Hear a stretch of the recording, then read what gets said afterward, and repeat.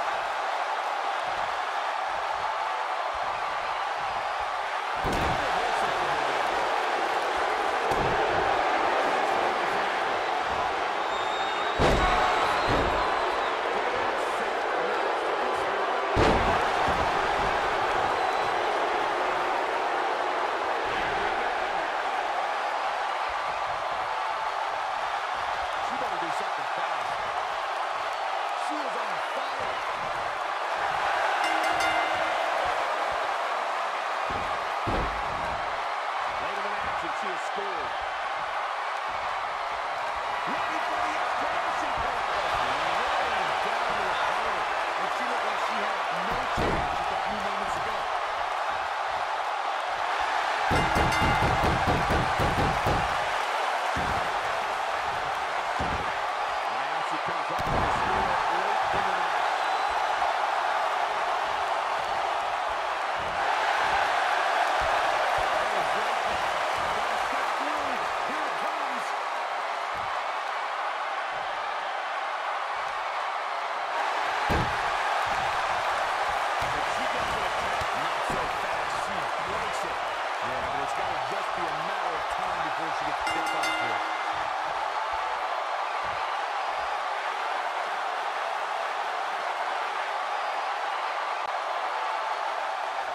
Here is your winner, Rose Ethan. The shoulders are down for three, and this one's in the books. When it comes to impressive women, this girl might just top the list. Guys, I think this Nashville crowd is in awe of witnessing